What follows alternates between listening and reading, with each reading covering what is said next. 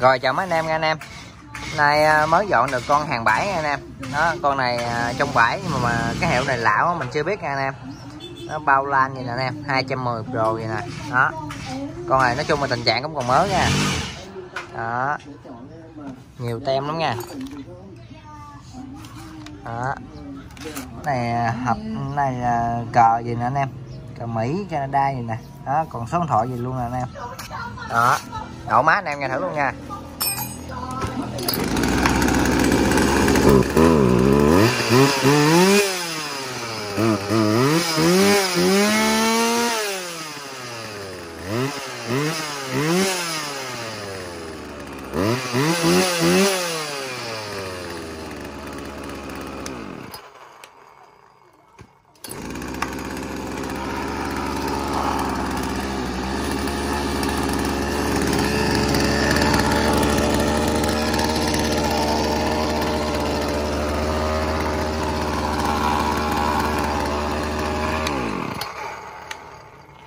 Rồi nha anh em.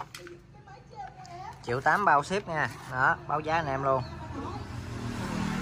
Rồi, chào mấy anh em.